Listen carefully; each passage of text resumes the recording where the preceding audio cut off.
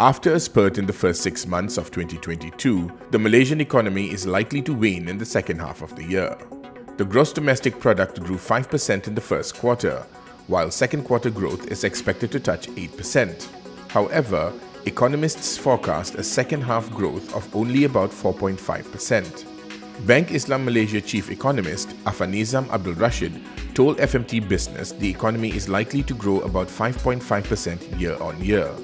He said that ongoing supply chain disruptions, predominantly caused by lockdowns in China, coupled with rising prices of commodities and domestic inflation, have hampered growth. However, Center for Market Education CEO Carmelo Ferlito cautioned against being too fixated on the need to shore up the GDP. He said Malaysia's positive growth in 2021 was driven mainly by government expenditure and private consumption, resulting in the creation of more government and private debt, and that has led to inflation.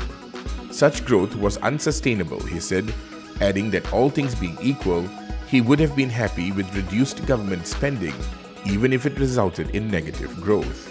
Ferlito added that the key elements for sustainable growth are savings and private investments, but that he was unable to see a rising trend in either.